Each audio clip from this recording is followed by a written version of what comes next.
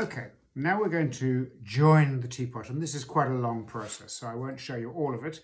Uh, we made the spout, as you remember, on the wheel, and of course there's a back to it where it joined onto the bat, and we need to get rid of some of that, and that is going to sit on the teapot at the right angle up here. So the first thing is to see where the spout comes to a point, mark opposite that on the top of the spout, just where it, um, it would come up.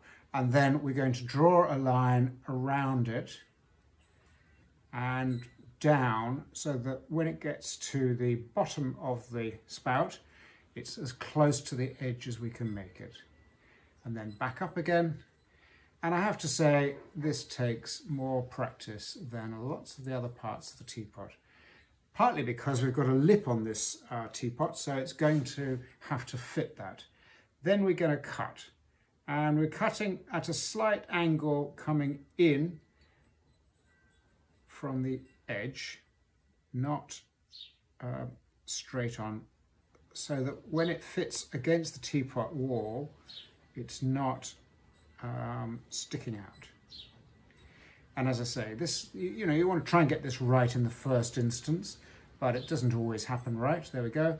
And so what we've got is a, um, a rim on it, and it will fit onto the side of the teapot.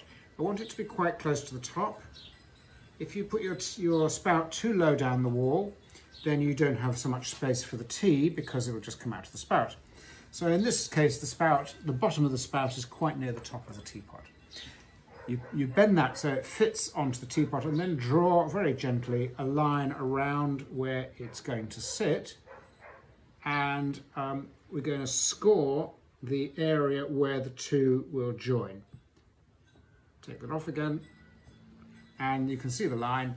And now we're going to score just inside that line with the knife nice and carefully around the edge and it doesn't have to look beautiful but it needs to be good and scuffed up like that. And we're going to also score the inside of the teapot um, spout. And that way the two surfaces will stick together really well. And once that's done,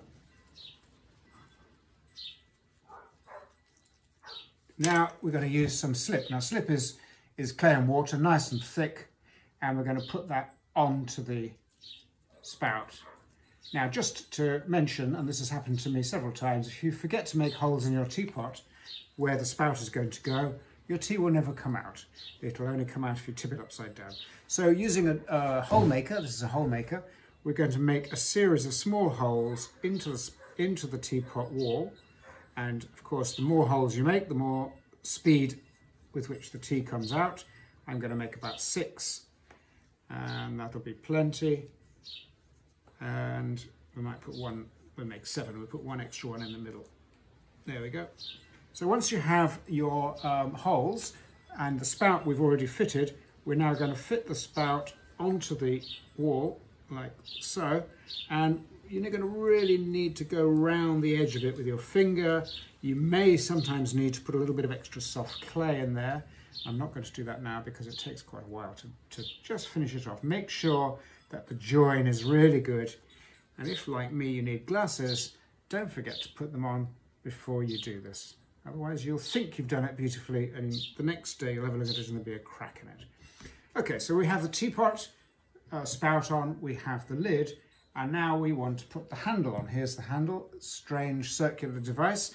The handle is going to go on the top like a kettle, and we're going to line it up with the side of the pot and we're going to take the knife and using just eyesight going to work out where that would fit onto the teapot. It's going to, it's going to go round like that and the back it's going to go about the same. You don't want to stretch that because they do crack.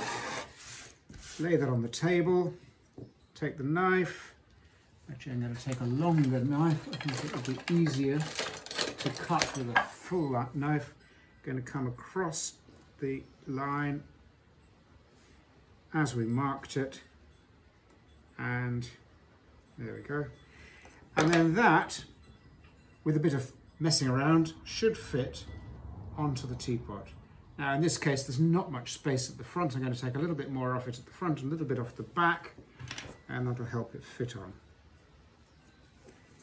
That's the front and the back. So the back fits in quite nicely. The front fits in behind the spout.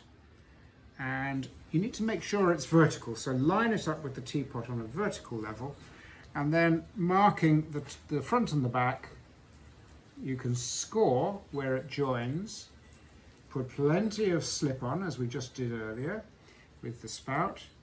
And when that's uh, stuck on, score both surfaces, stick it together, and then where there are little gaps, you can just see here some little gaps behind this, the spout, you need to use soft clay to fill those up.